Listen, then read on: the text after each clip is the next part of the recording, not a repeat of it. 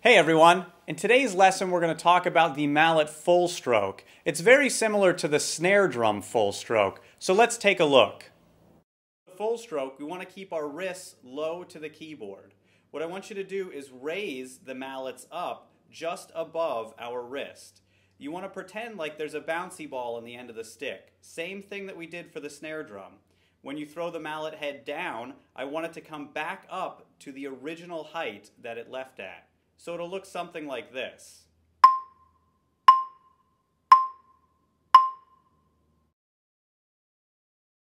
For the full stroke sound quality on a keyboard instrument, we want a nice, rich, full, dark sound from the keyboard. It should sound something like this.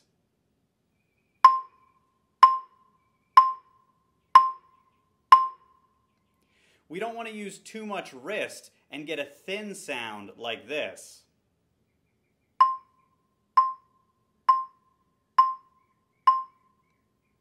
And we definitely don't want to use too much arm or play too high and get an overbearing sound like this.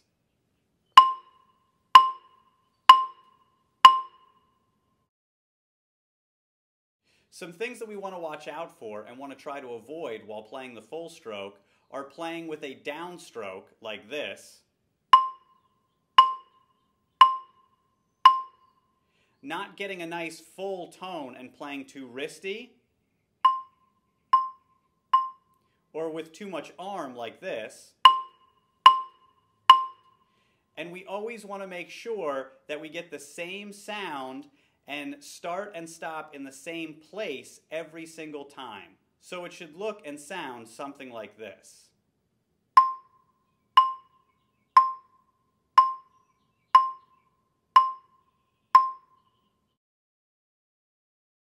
We're going to talk about proper stance at the mallet instruments. It's very important to have your feet in the correct position and to be at the proper stance behind the mallet instrument to produce the best sound possible. For the stance, I want us to start with our feet together.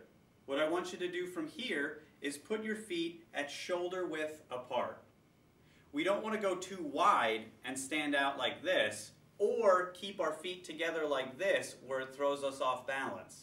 We want to keep it nice and relaxed at shoulder width apart. Now, when we're up to the instrument with our feet in the same position, you want to make sure that you are standing in the center of whatever you are playing. We don't want to shuffle around like this every time we have to play some notes, and we definitely don't want to twist and rotate our body too much. So if I'm playing the notes C and F, I'm going to stand right in the center of that, around where the E key is. So I can comfortably play C and comfortably play F. I don't want to stand all the way off to the side like this, where I have an awkward turning motion to play these notes.